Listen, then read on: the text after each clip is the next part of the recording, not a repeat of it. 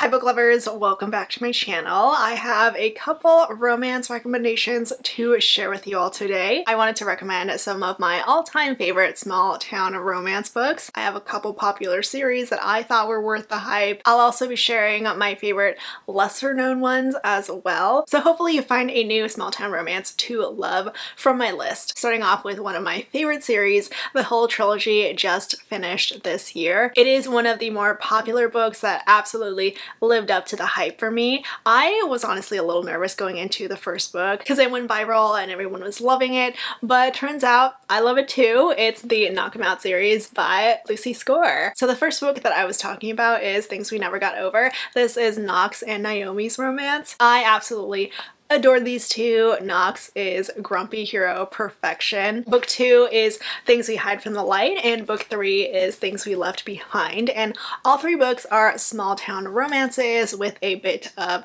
suspense in them. So book one is where the heroine moves to this small town because she has just discovered that she has a niece that she never knew about and her twin sister has bounced so now she has to take care of that niece. The hero very reluctantly gives her a place to stay, gives her a job. And these two are so good together. All the attention, the chemistry. I love their banter so much. We do have a hero who thinks that love is not for him, like relationships aren't for him, but then he gets smacked in the face with this heroine. And there are a lot of good jealous and possessive parts here too. And since this is the first book, you do get introduced to the whole town, the small town of Knockemout. You get to know all these side characters who very much get involved in the romances here. And then book two is about the brother of the hero from book one. He is the town cop and he falls in love with a newbie in town. She is an investigator. She's trying to figure out the suspicious thing, trying to track down the bad guy behind the entire series. This one has a more emotional feel to it, like it's not as light and fluffy as book one, but there is the most adorable dog here that the hero adopts. She is this tiny little thing that the main characters find like on the side of the road inside this pipe so they name her Piper. The heroine is super badass. She is literally tracking down some awful people and we do get a lot more of the mystery and suspense if you're a fan of that. And then this is the third and final book, the book that just released and wrapped up the whole trilogy. Things We Left Behind was the one that everyone was waiting for because this couple had been teased in the first two books. The heroine is the local librarian, the hero is a self-made millionaire, billionaire. Oh, and also the whole trilogy is about two friend groups. Like we have the guy best friend group, the two brothers, and then this third best friend. And then we have the girlfriend group who become friends throughout the series. So this one is Lucian and Sloane's romance. I call them Slucian. And it was so worth the wait. This one is definitely the angstiest out of all three because there's a lot of history, a lot of bad history between the main characters here. They have known each other since childhood and it's been decades since they first met, since they were childhood neighbors and there's been a lot of hate throughout those years. So this one has enemies to lovers and it is so so good, super hot too. Lucian is definitely the dirty talker out of the three heroes, but the whole series is just so wonderful. I love the Knockemout series so much. I fell in love with this small town, like it's so unique, very idyllic if you take out the whole um, bad guy situation here. But this is a small town that I would love to live in, love to have grown up in, even though I'm not a small town girl at all. And these books are so funny too, like Lucy Score's writing, her sense of humor is fantastic. My favorite of the three though, I will say, is probably book one. I still love it so, so much. Book three is a close second and then book two is my third favorite. So this series is popular for good reason. It definitely lived up to the hype for me and it's one of my favorite small town romance series. Today's video is brought to you by Stephanie Rose and her new release, Raising the Bar. Raising the Bar is about a heroine who has just recently gotten fired and she's trying to escape the city for a small town retreat to recoup and recalibrate. But on the way there, she gets pulled over for speeding by a local cop, one who is very grumpy and very hot. The two hit it off, but because she's only there for the short term, they can only be friends with some fake dating because the hero, who just went through a messy divorce, he asked the heroine for some very public cuddles, for some fake dates to get the local matchmakers off his back. But what if the heroine's small town stay becomes permanent? Can the hero be the man that she deserves? To find out about Claudia and Jude's happily ever after, grab your copy of Raising the Bar by Stephanie Rose. You can read it for free on Kindle Unlimited. I'll leave a link down below for you to check it out. A big thank you to Stephanie Rose for sponsoring today's video. And on with the rest of this video. And then I'm recommending the Lost and Found series by Catherine Cowles. So far there are four books, but we do have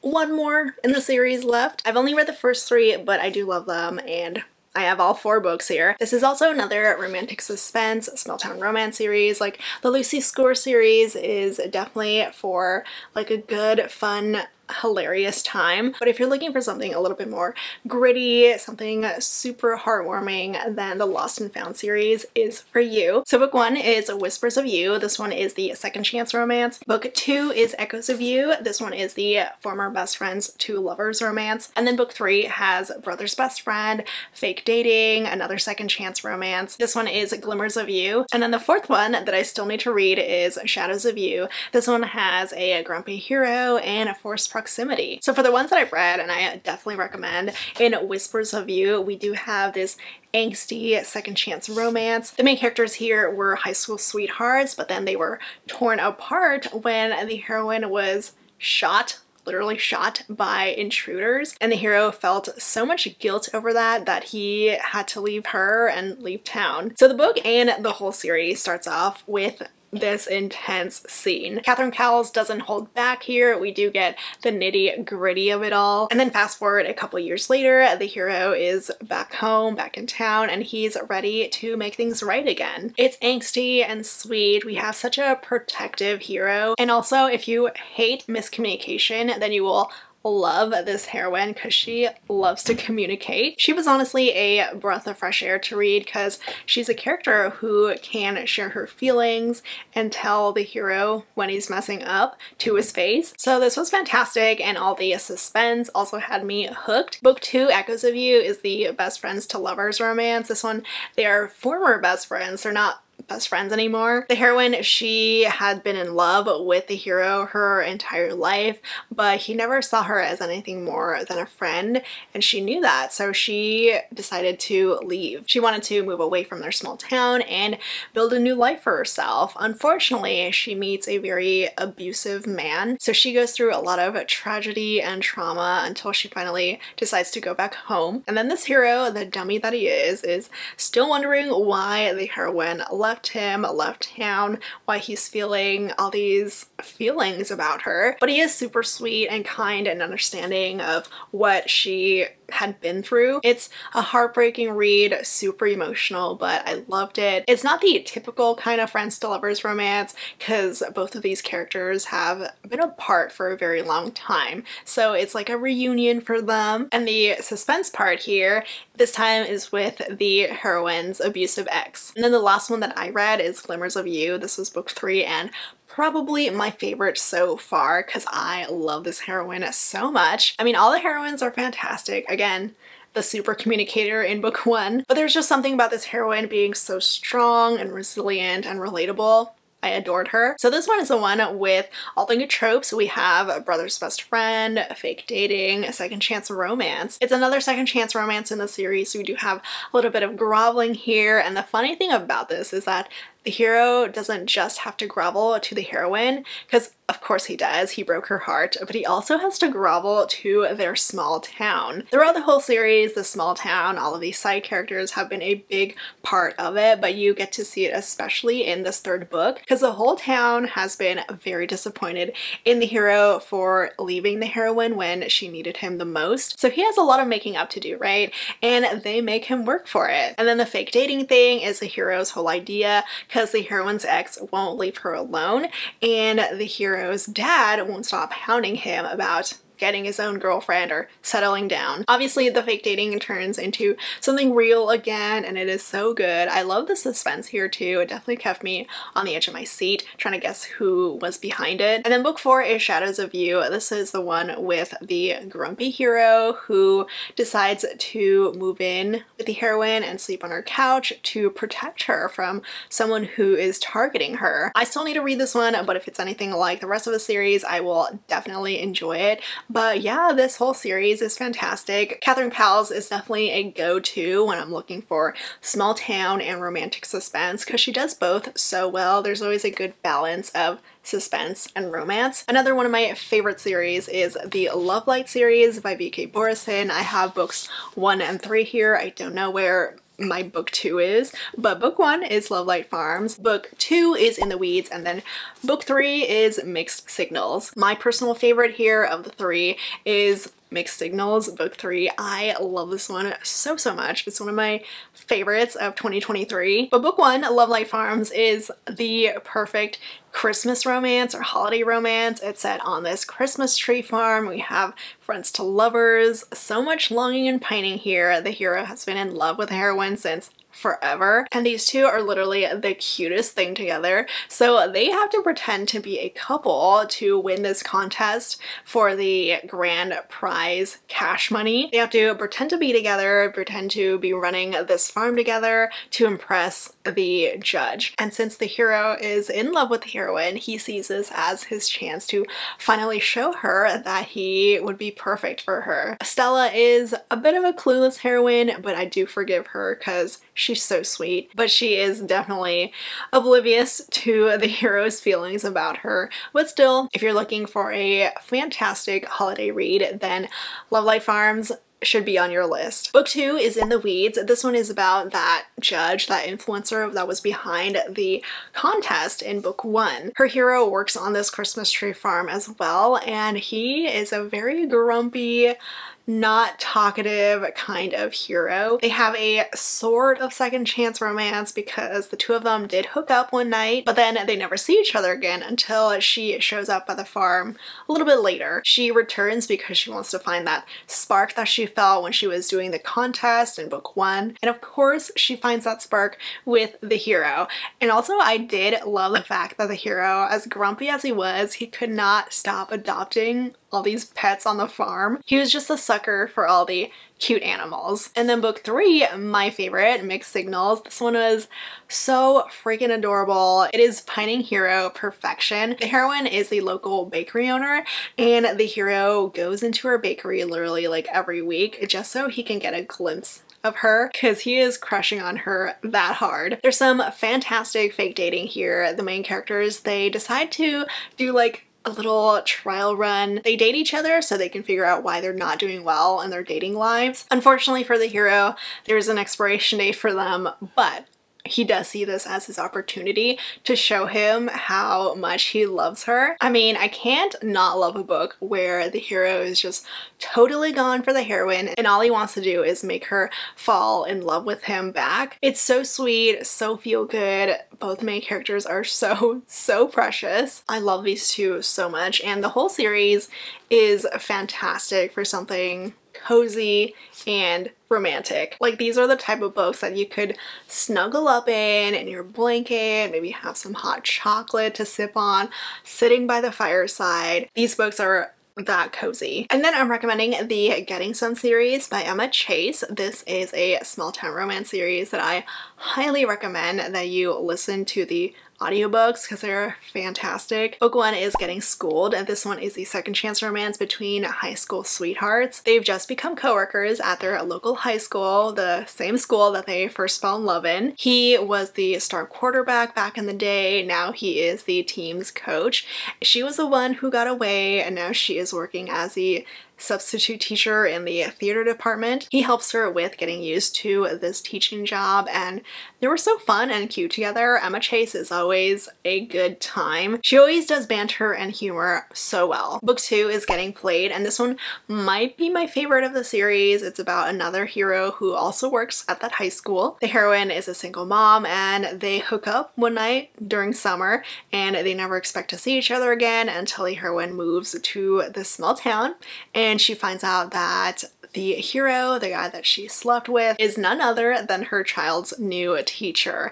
Oh, and also she's pregnant. So we have a one night stand, single mom, surprise pregnancy. It was so cute. I always love to see a hero who saw himself as an eternal bachelor but just falls head over heels for the heroine and he falls so hard not just for her but their whole family. So that one was adorable. And then book three is a sort of hospital romance because the hero is a doctor and the heroine is a nurse and they work together. It's actually super awkward but totally adorable. The heroine has had the biggest crush on the hero for a very long time and he never really sees her until she literally falls flat on her face in front of him at like a grocery store. So that's how they start talking, getting to know each other. It's very, very sweet. They see each other at work all the time and now they see each other outside of it a lot too because they do get sent out by their friends to go to a wedding together. The hero is a single dad. He is a dad of three kids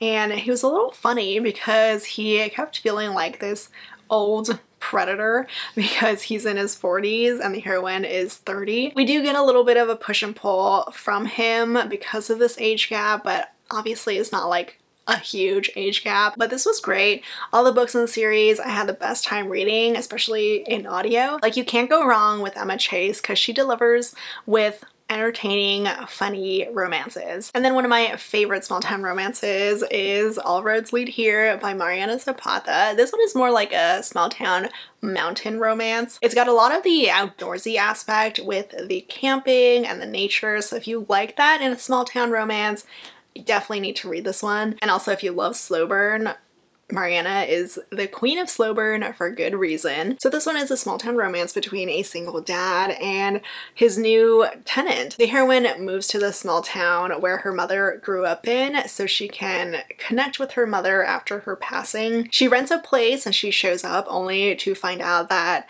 it was kind of a mistake because she rented it from the hero's son and he is not of age yet and he definitely should not be leasing places out on his dad's behalf. The hero, being a grumpy hero, very, very reluctantly lets the heroine stay on his like land. So there's a ton of amazing forced proximity here. We have an older hero. Mariana Zapata always does the best older grumpy heroes. It was just a very lovely read, very classic MZ with her slow burn. You definitely get a feel for this small town, for these mountains that the heroine explores. It's a very heartwarming read. And then I'm recommending the Compass series by Brittainy Cherry. This series, most of them are small town romances, but not every single book is, so I'll just focus on the ones that are set in the small town, books one and four. The first book is Southern Storms, and this is the one where the heroine moves to a small town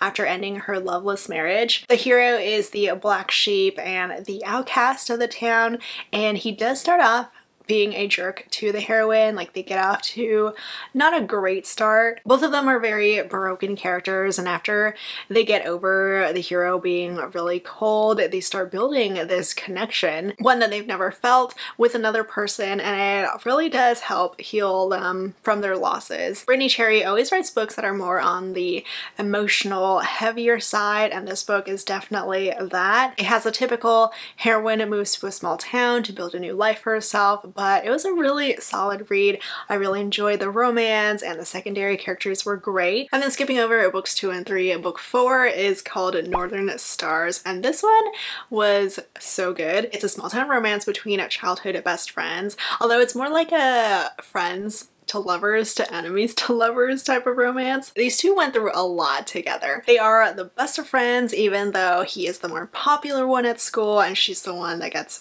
bullied, but he is so protective over her because of the bullying. I just adored them as kids. And then they fell in love growing up through middle and high school, but then something happens that tears them apart and the hero leaves the heroine, he leaves their small town, and then he eventually becomes this famous A-list celebrity actor in Hollywood. He does finally return home to their small town, but now he hates her. So the book is split into two parts. The first part is when they're kids, growing up, falling in love for the first time. It's so sweet, so adorable. Honestly, this first part was my favorite part of this book.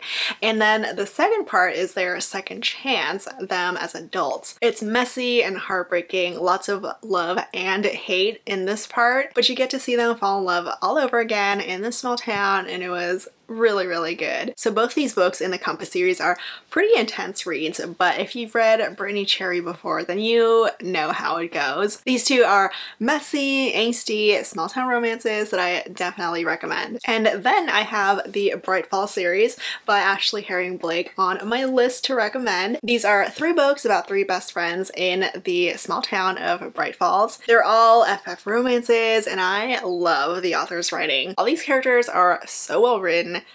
so well developed. I fell so hard for them. Book one is Delilah Green Doesn't Care. Book two is Astrid Parker Doesn't Fail. And then book three is Iris Kelly Doesn't Date. In book one, we have Delilah, who is not part of the trio friend group. She is the other heroine. Delilah is the black sheep of her family and she returns home because she's broke and she needs a job. And she gets this new job as a wedding photographer for her estranged stepsister. Delilah's heroine is one of her her stepsister's best friends. Claire is a single mom and she also runs the local bookstore. I love their beginning because when Delilah returns back to their small town, Claire doesn't recognize her, but Delilah recognizes Claire. Delilah makes a play on her as a little revenge from when they were growing up and her stepsister and her two best friends would make fun of Delilah. So the romance doesn't have the best beginning, even though the chemistry is there right from the start, but there's a lot of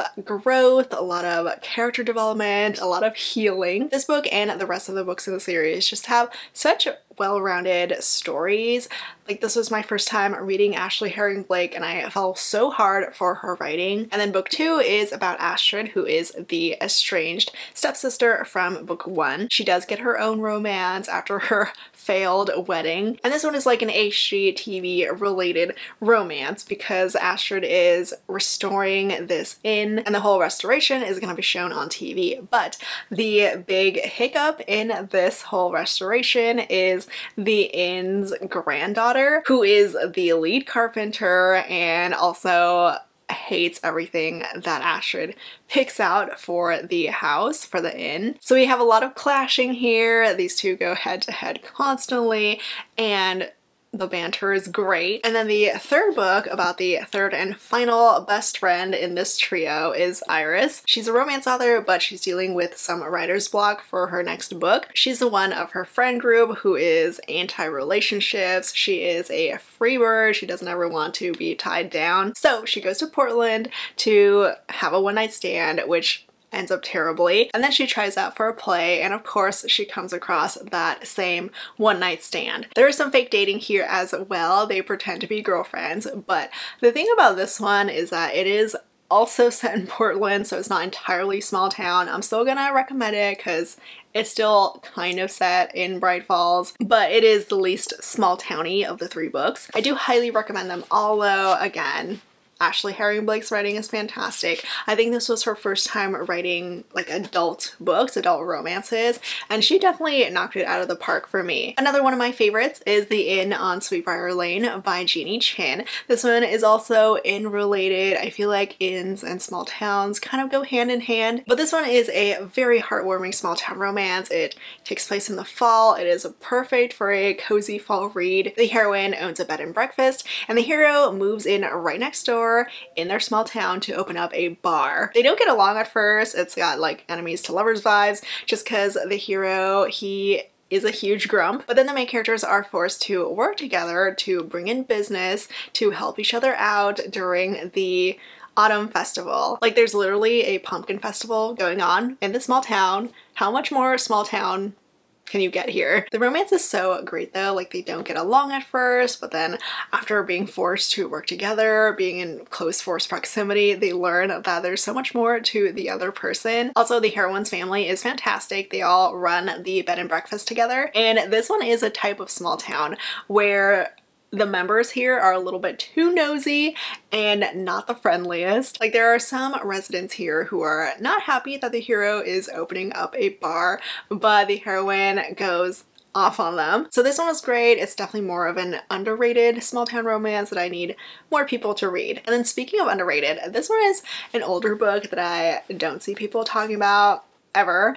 but I loved it. It's called Sweet Tea and Sympathy by Molly Harper. It's the first book in the Southern Eclectic series. It is set in this southern small town. If you're in the mood for something sweet and funny set in a small town, then this is going to be perfect. Though I will say this one does lean more towards women's fiction, chick lit, but I still loved it so much. It's about a wedding planner heroine who was raised by her mom and her stepdad, and then she gets the biggest opportunity of her career but then this incident involving flamingos and shrimps kind of tanks her career. So she's left with nothing until a woman comes out of nowhere and tells her that she is her aunt and that she has a whole family on her biological dad's side in this small Georgian town. She finds a new job at her family's company, which is a funeral home slash bait shop because of course, why not? There is a wonderful romance with a widowed single dad of two little girls. He is the local school principal, but the story is still very much about the heroine's journey, about her building a new life for herself, getting to know this small town and all of its quirky residents, and then building a new relationship with her estranged dad. Everything about this book is just so feel good, so adorable. It definitely makes you want to grab a cup of sweet tea while you read it. And then for my final small town romance recommendation, it's from one of my favorite authors. If you didn't know, Book Lovers by Emily Henry is a small town romance. Okay, so both the main characters are from a big city. They're both from New York City. They work in New York City, but they're currently in this small town in the middle of nowhere, North Carolina, for some time off. They've never been the biggest fans of each other. Like you could almost call them enemies, but not quite that. And they keep bumping into each other in this tiny town because there's only so many places here. So they do run into each other a lot. There's a lot of forced proximity. They both work in publishing. The heroine is a literary agent and the hero is a book editor. They do grow closer together though when they start working with the same author. Honestly their banter and their wit was chef's kiss here. Like Emily Henry and her writing, her sense of humor is always top tier. I was feeling all the good feels for the romance here, but it does get a little emotional. Like there is another plot with the heroine and her straining relationship with her sister, but everything was great. I had such a fun time reading it. The romance had a slight slow burn feel to it. Like yes, there is a ton of banter between the main characters, but the romance does take its time to develop. And it's all set in this cozy little small town. So those were some of my favorite small town romance books. Definitely add them to your TBR if you haven't read them already. If you have read some of them though, let me know your thoughts. If you have your own small town romance recommendations, please share them. I'm sure I'll get some Elsie Silver comments, so I am reading more of her books and continuing with her Chestnut Spring series, so maybe she'll show up in another small town romance video if I make another one. As always, links to everything will be down in the description below. Thank you so much for watching, and I'll see you all next time. Bye!